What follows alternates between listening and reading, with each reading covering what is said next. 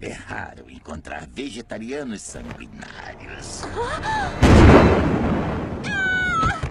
Eu sou um Shinigami, um deus da morte. No meu reino, eu sou chamado de Steve Johnson.